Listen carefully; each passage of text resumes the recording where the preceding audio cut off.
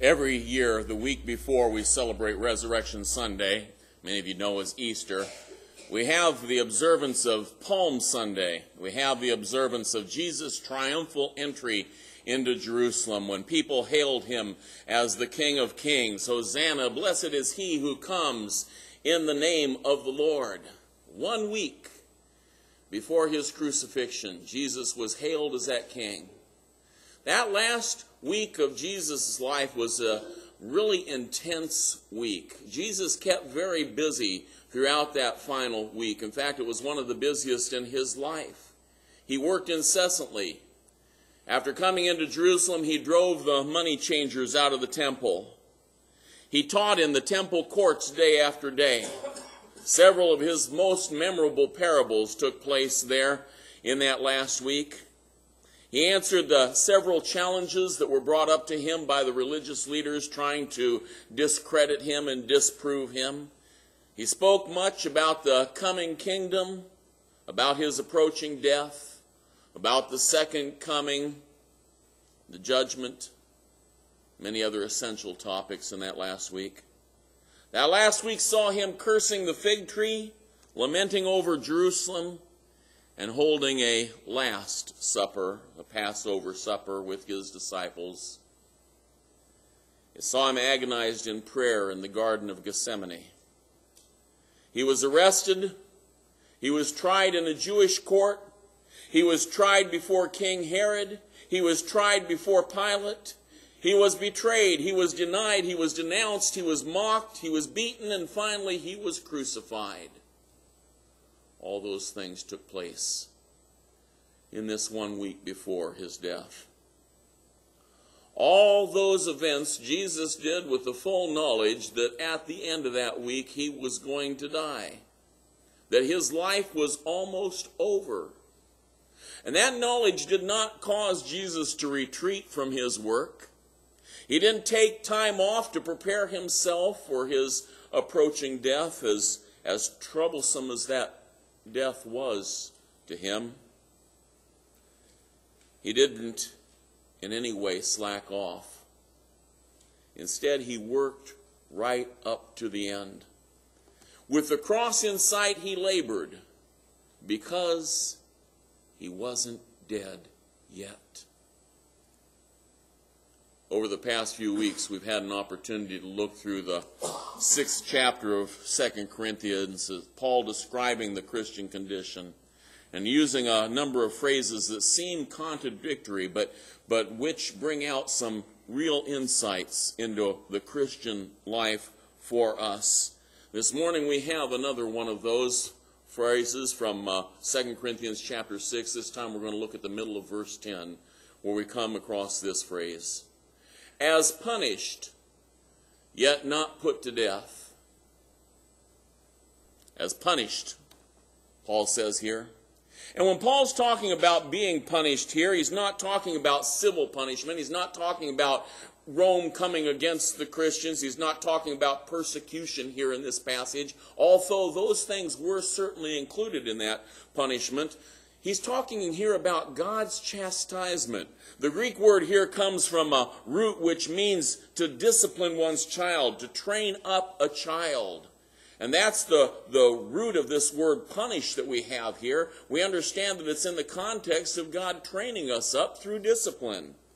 It's not man's disapproval that Paul's referring to in this passage, as we've talked about for the last couple of weeks, the persecution of the church. Although God does allow us to experience persecution in our walk with Him so that we might be uh, matured to a deeper walk with Him. But all the hardships that God brings into our lives are for that purpose. All the things that He allows to take place are for the disciplining of us that we might be matured and better prepared for all that He has before us.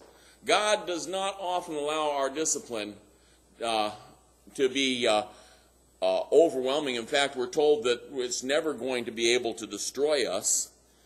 But the difficulties put upon us by our enemies in the faith from time to time, uh, we realize that God only allows those things into our lives for our sake. He doesn't desire us to be crushed. He's not trying to destroy us with the hard things that come into our lives. He wants us to be made whole. He wants us to be perfected for His fellowship. He wants us to be ready for a place in His kingdom. God's not the author of evil. And when men perform evil to other men, when we are the brunt of the wickedness that other people have in our lives, we understand that that's not God's plan that we should suffer in that way, but God includes it in His plan. God allows it into our lives for His purpose. He is superior to the power and to the intentions of the evil men that afflict our lives. And thus, He can take the worst thing that we experience in this world and He can make it into the discipline that will help us to grow. One of the most reassuring passages in God's Word has to be Romans chapter 8, verse 28, which says, And we know that God causes all things to work together for good to those who love God, to those who are called according to His purpose. Thus, we don't need to respond harshly to the wrongs that other people do us because we know God can do good. He can do us good even in the worst abuses that others heap on us. 1 Peter chapter 3 verse 9 says, "Not returning evil for evil or insult for insult, but giving a blessing instead, for you were called for the very purpose that you might inherit a blessing." No matter what the intent of others is, the realization that God is working in those painful circumstances to produce in us the very best for our lives allows us to rise up above petty retaliation. We aren't looking to get even with others. We don't have to get back at the people that slight us and wrong us and abuse us and hurt us. Because God's using those very things for our benefit. God's using those things to bless us.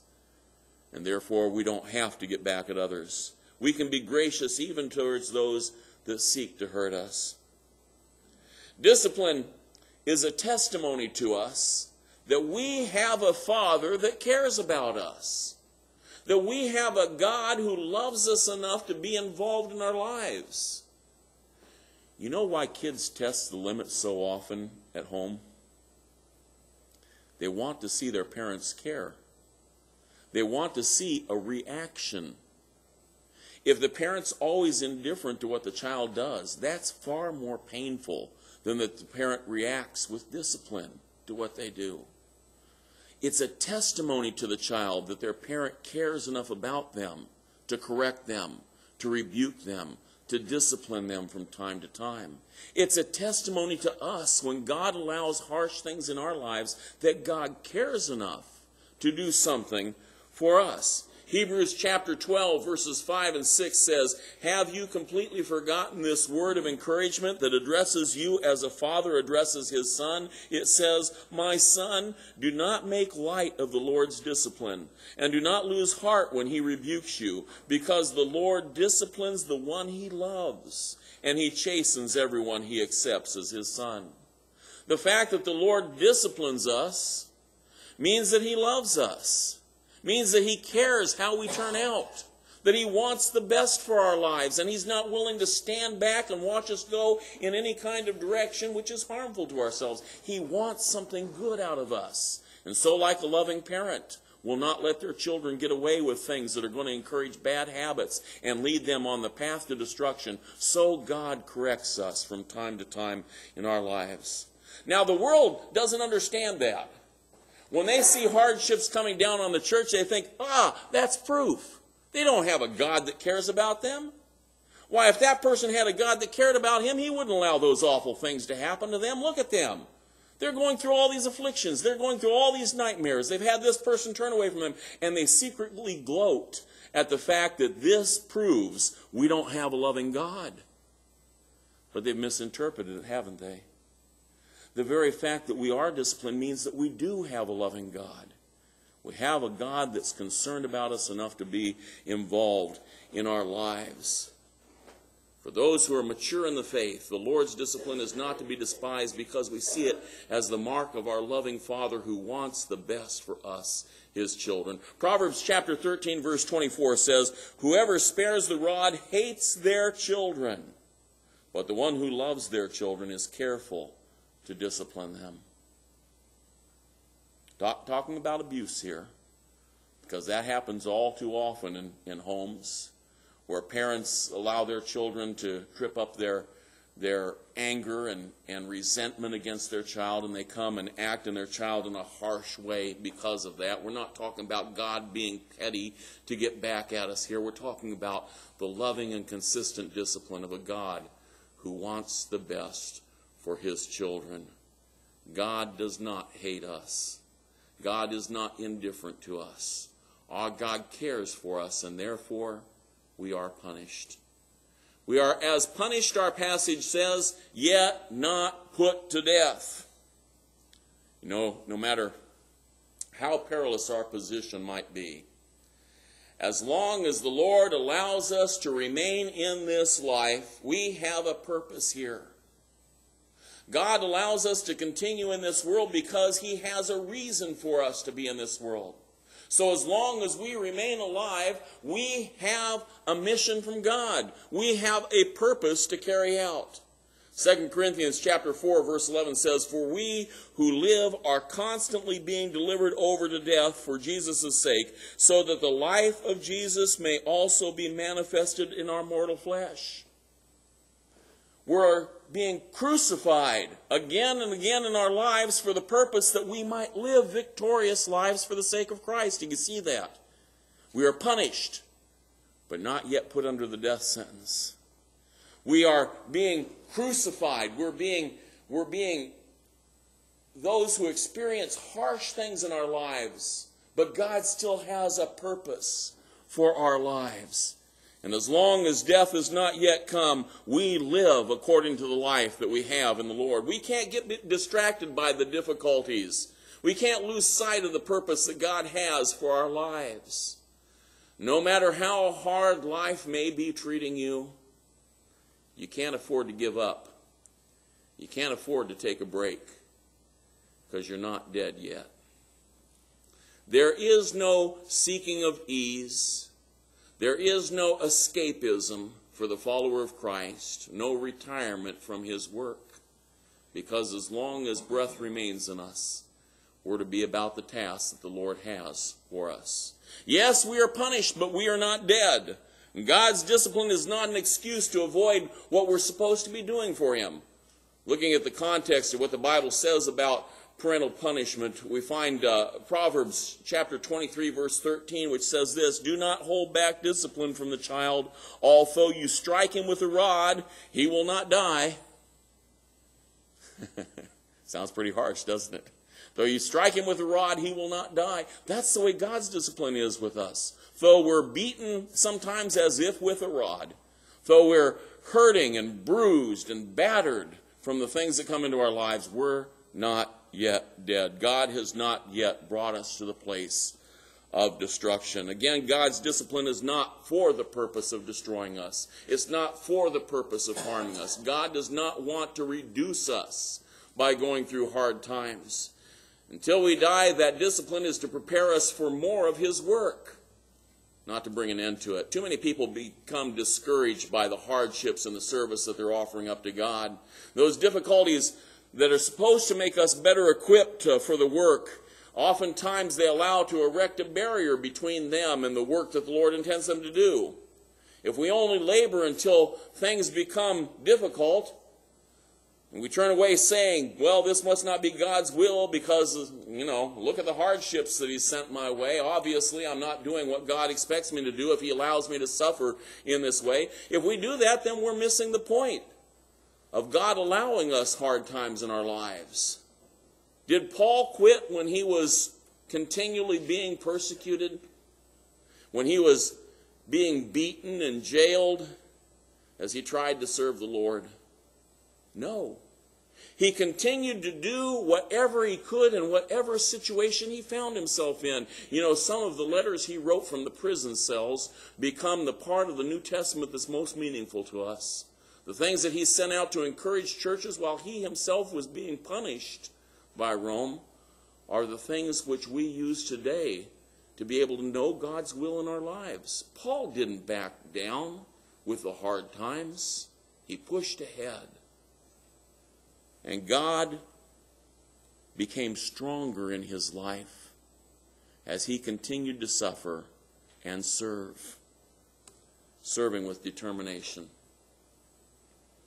I'm afraid sometimes we're too quick to seek the easy way, to turn for, from God when things get hard, to say just forget about it, and throw in the cards, and resume lives like our worldly neighbors. It's not enough to believe the right things. Not enough to come to a worship once a week. It's not enough to get by with the minimum, putting our toe just over the line in the Christian faith. We need perseverance. We need to soldier to the end. He who is faithful unto death, I will give the crown of life, the Lord says. We need to understand we're not yet dead. You haven't crossed the finish line. The race is still on before you. We need to labor in that race. Arthur Cudler in the Atlantic Monthly wrote One morning I watched a couple of cowpunchers going out to bring in a wild steer from his range in the mountains. They took along one of those shaggy little gray donkeys, a burro. Now, a big three year old steer that's been running loose on the timber is one tough customer to handle. But those cowboys had a technique. They got a rope on the steer, and then they tied him neck and neck right up close to the burro. And when they let go, that burro had a bad time. The steer threw him all over the place. He banged him against trees and rocks and into bushes. Time after time, they both went down. But there was one great difference between the burro and the steer. The burro had an idea. He wanted to go home. And no matter how often the steer threw him, every time the burro got to his feet, he took a step closer to the corral. This went on and on. And after about a week, the burro showed up at the ranch headquarters quarters, he had with him the tamest and sorriest looking steer you ever saw. See, it's not the size of the momentary bursts of spiritual strength that we carry uh, with us that are going to deliver us to the Lord someday. It's not that which is going to drag us over the finish line. It's that dogged determination to go home. It's that dogged determination to, to go in the direction that the Lord has set for our lives. And as long as the Lord gives us life, we're supposed to be on that journey. We dare not get distracted from our purpose. We should not get confused about what our purpose is here in this world. We need to invest ourselves in living the life that He has called us to live, that He would have us to live in this world. Yes, we might be punished. We might be beaten black and blue, but we haven't received the death sentence. You might feel like a donkey tethered to a belligerent much larger steer sometimes, but if you continue to live your life with purpose, you're going to make it home. This morning, you want to make a decision to live your life with purpose you want to follow the Lord Jesus Christ in your life, if you have a first time decision to make for Him this morning, or if you want to renew your commitment to live for Him, we invite you to come forward as we stand and as we sing our song of invitation Come just as you are. Let's stand together.